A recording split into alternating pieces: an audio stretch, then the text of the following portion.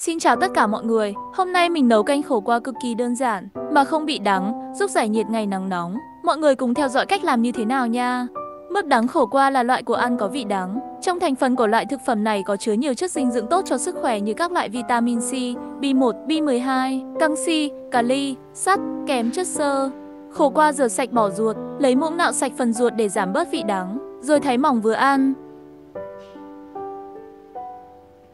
Cho một muỗng canh dầu ăn, cho hành tỏi vào phi thơm, rồi cho con ruốc vào lúc này có thể thay thế nhiều loại khác nhau như tôm khô, thịt xay, theo ý thích mọi người nhé. Đảo đến khi chín cho vào một lít nước.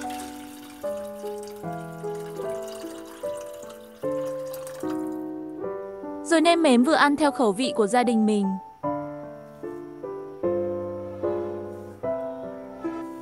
Khi nước sôi bùng to cho khổ qua vào, cho sôi thêm 1 đến 2 phút nữa cho khổ qua chín, rồi tắt bếp, như vậy khổ qua sẽ không bị đắng.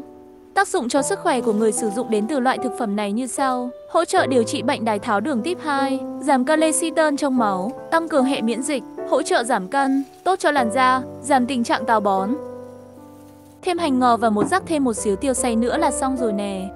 Bên cạnh những tác dụng đã được kể đến, Khổ qua còn là một loại thực phẩm có tác dụng tốt cho người bị viêm gan, sơ gan, giúp tăng cường chức năng của hệ tiêu hóa, làm giảm các triệu chứng của hội chứng ruột kích thích, góp phần cải thiện thị lực, giúp thanh nhiệt, giải độc. Mọi người hãy cùng nấu cho gia đình mình ăn nha. Cảm ơn mọi người đã xem hết video này. Nếu yêu thích mọi người hãy like và đăng ký để ủng hộ An ra nhiều video khác nữa nha hi hi. Và giờ thì bye bye mọi người.